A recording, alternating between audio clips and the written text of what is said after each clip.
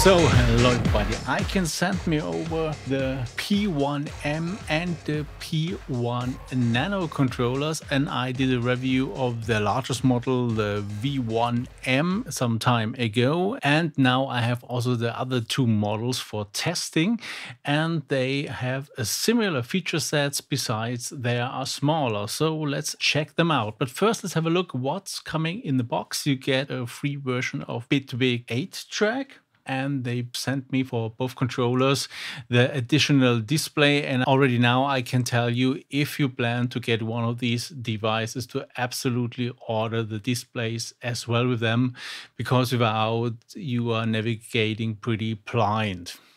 So looking at build quality, both models are fully plastic, but nevertheless feel quite solid. And also the faders and the knobs feel pretty nicely.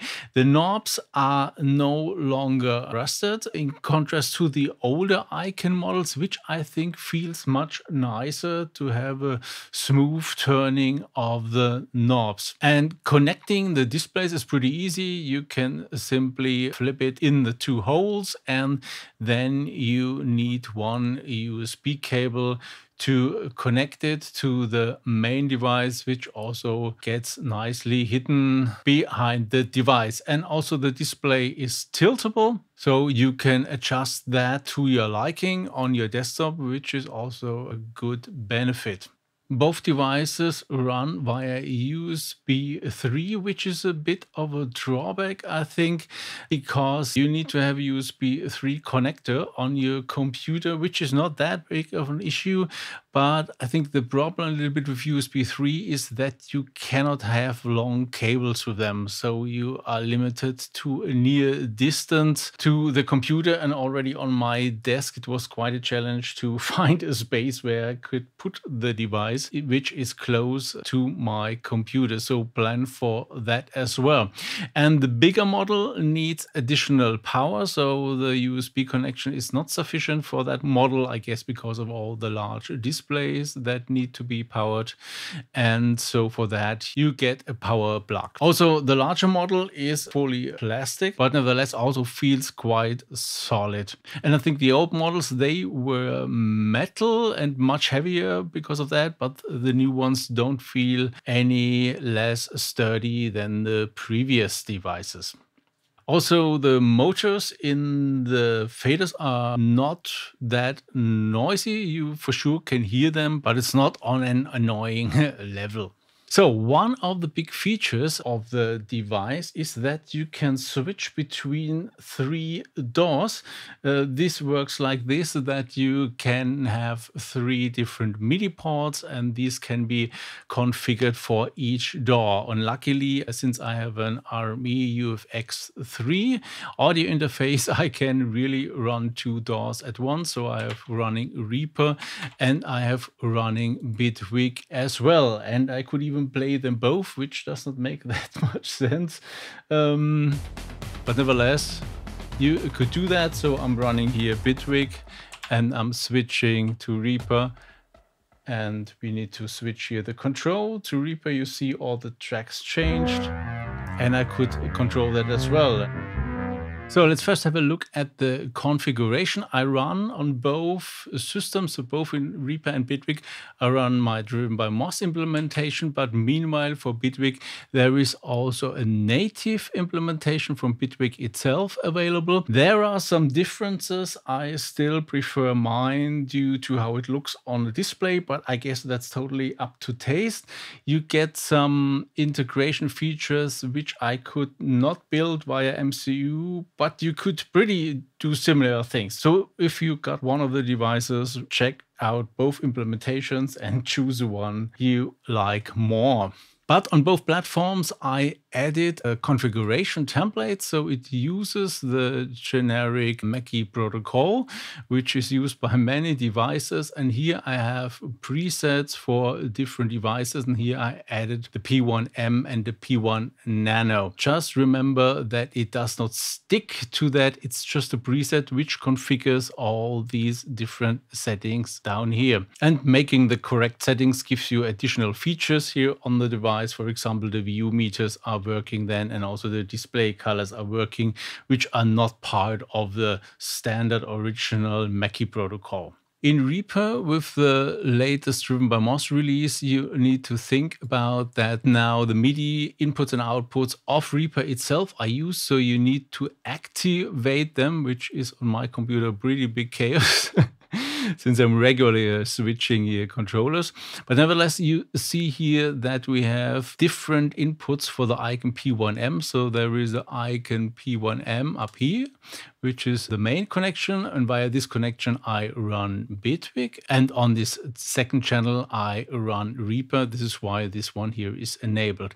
Same for the output. Also here we enable the second port, which is that one. And don't forget to switch on this setting to not send reset messages. Uh, otherwise, your faders will hop funnily around if you start or stop playback in Reaper. And then finally, in a Driven by Moss configuration, you can select these two ports to make it work. If you just enable them in Reaper, just simply click on rescan MIDI devices and they will show up in the list and then you can select it and then close it down and it will start running.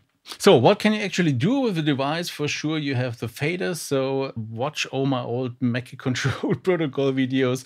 You can do basically everything with these devices. What I already said is that the control here is pretty nice. You see, it's pretty slow when I turn them, but you can tweak that. That's a good thing about Driven by Moss. You can tweak a lot of settings.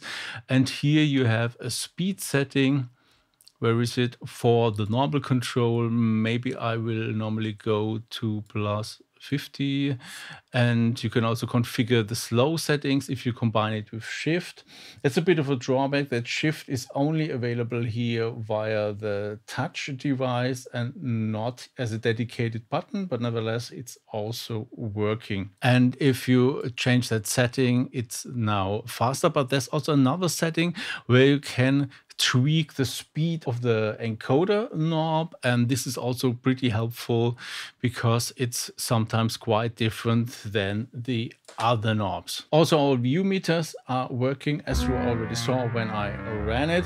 And what is also interesting, since it has only eight faders, so there's no master fader, you can nevertheless switch here to master and then the H1 is the master fader. So let's go back, back. So you can turn it down and up. And if you leave it like that and go back to the 8th, it will jump back into the 8th position or you are back to the master. And you have for sure, you have record enabled solo and mute and you can select the track. So nothing unexpected here. Where the fun begins is up here in this uh, display and I showed it already in depth in the V1M demo and you can do basically the same and in the editor which comes with the device you can configure and change this to your heart's alike and you have even three different menus where you can have different settings and you even have two layers so you can have six different pages with commands and functions to execute having a quick look at the P1 Nano, it basically gives you the same features, but I can say I'm not a fan of these one fader controllers. It might work for you if you only click on channels and then use the fader, but uh, changing it via here the up and down buttons is quite a tedious thing. At least an advantage of that one, in contrast, for example, to the X-Touch one of Behringer, is that you have at least the eight knobs up there so you can change uh, volumes or panoramas of all eight channels at the same time without having to move around your channel all the time. And okay, you get also the transport section and also the knob is of the same size if you have it here. And you can also configure these nice touch displays. So it's not that much difference, but I think if you have a space on your desktop, it's definitely worth to get the bigger model. So on what do I think of that model in contrast to the big one, the V1M. And I have to say, I absolutely prefer that model because the V1M is pretty powerful, but it's also quite huge and you need a really big desk to feature that, especially if you want to use an extender as well with it, and then you need really lots of space. And that one has a size which is even a little bit smaller than the X-Touch, which I run up here. It's much uh, thinner, it has nicer displays. So I would definitely choose to use that model instead of the big one, but nevertheless, you should check out both of them. Yeah, so much for these two smaller models. What do you think about them? Do you have questions? Ask them down in the comments. And until next time, make some funky music.